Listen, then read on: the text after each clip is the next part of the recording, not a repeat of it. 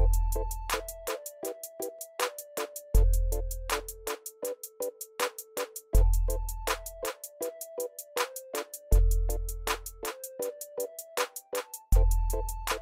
Selon l'Agence de la transition écologique, d'après des, estimations que nous avons réalisées à la demande euh, du Haut Conseil pour le climat, nous avons évalué les besoins d'investissement euh, de la stratégie nationale bas carbone et euh, les effets macroéconomiques de la mise en place de ces investissements en France. Ce qu'on observe, c'est si, on compare les besoins d'investissement de la stratégie nationale bas carbone avec les, les montants prévus dans France Relance, c'est qu'à court terme, les montants prévus euh, dans France Relance sont cohérents et même plus ambitieux que ce qui serait requis pour la stratégie nationale bas carbone, pour l'atteinte de la stratégie nationale bas carbone, du point de vue budgétaire. Si je prends par exemple les trois secteurs euh, du bâtiment, des transports, des énergies décarbonées, Aujourd'hui, euh, d'après nos partenaires de l'Institut pour l'économie du climat, les besoins d'investissement annuels à court terme, entre 2020 et 2023, se chiffrent à environ 7 milliards d'euros par an.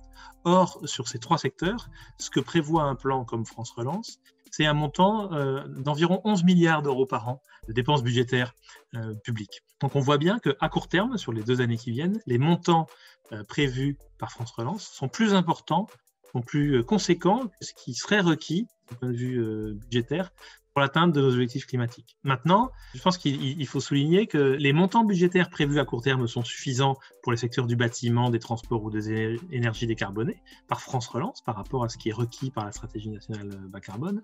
Maintenant, pour être compatible avec nos objectifs climatiques, il faut euh, respecter aussi d'autres conditions.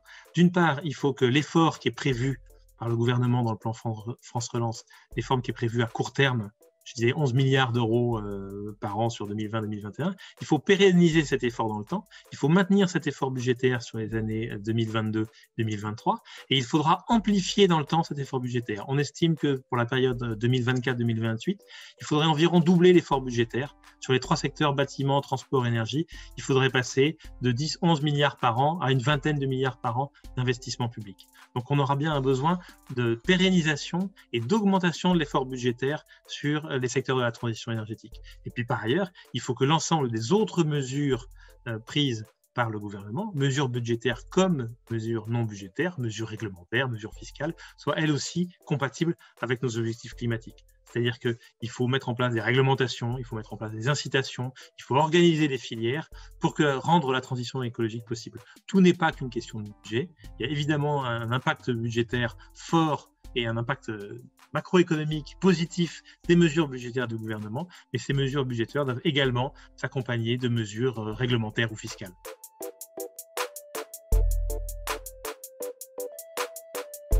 La question de, l'effet de levier, elle, est, double.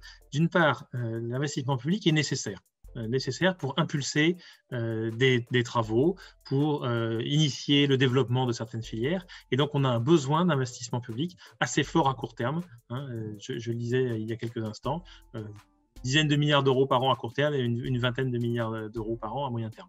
Maintenant, ce qu'il faut avoir en tête, c'est que ce besoin d'investissement public, euh, il est réel, mais la majeure partie de l'investissement dans, la transition écologique, ce sera de l'investissement privé.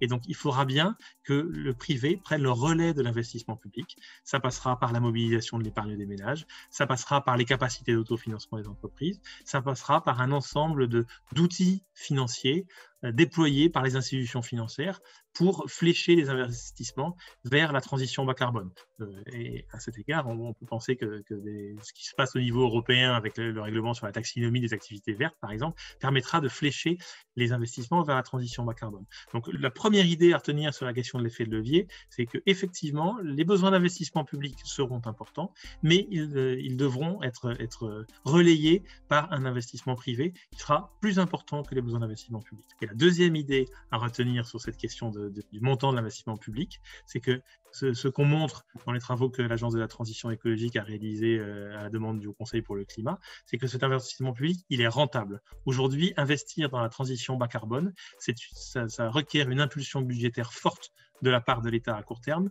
Et cette impulsion budgétaire, elle est plus que compensée par les recettes fiscales issues de l'activité qui en découle. Donc il y a un effet de relance de l'activité qui va créer des recettes euh, budgétaires pour, pour l'État. Et ce qu'on montre, c'est qu'en investissant dans une relance verte, le solde des comptes publics s'améliore assez rapidement. En 2025 comme en 2030, on a une amélioration des comptes publics si on opère une relance verte plutôt qu'une relance standard.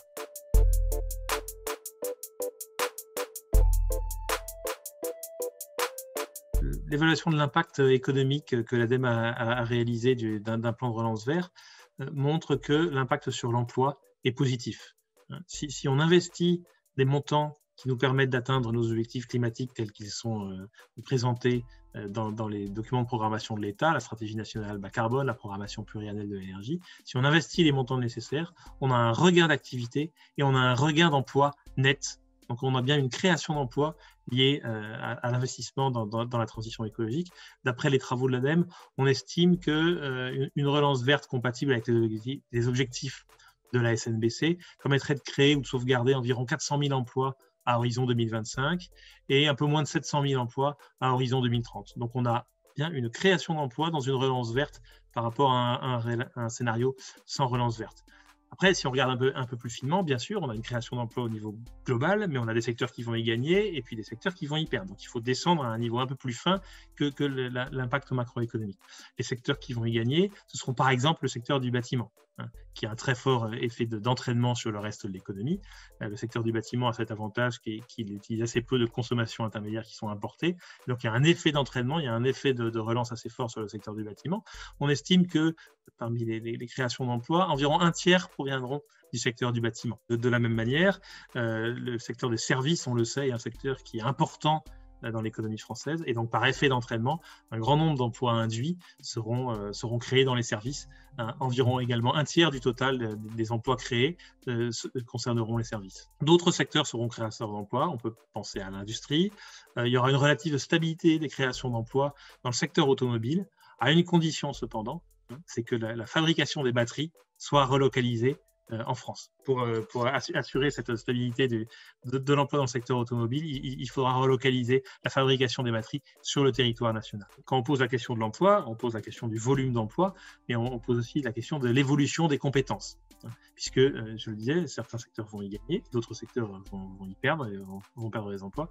Et donc, il va falloir accompagner l'évolution des compétences pour, pour permettre à ce que les activités de la transition écologique puissent se développer et, bien et qu'il n'y ait pas de pénurie de main-d'œuvre. Et donc, euh, il, faut travailler cet accompagnement de compétences. Euh, L'ADEME a plusieurs projets en cours d'expérimentation. Je pense à, un projet que nous avons dans, le, dans, les Hauts-de-France notamment, où nous faisons dialoguer les acteurs de l'emploi, avec les acteurs de la transition écologique en comparant d'une part les scénarios de rénovation sur un bassin d'emploi et d'autre part euh, les, scénarios d'évolution de l'emploi et des compétences.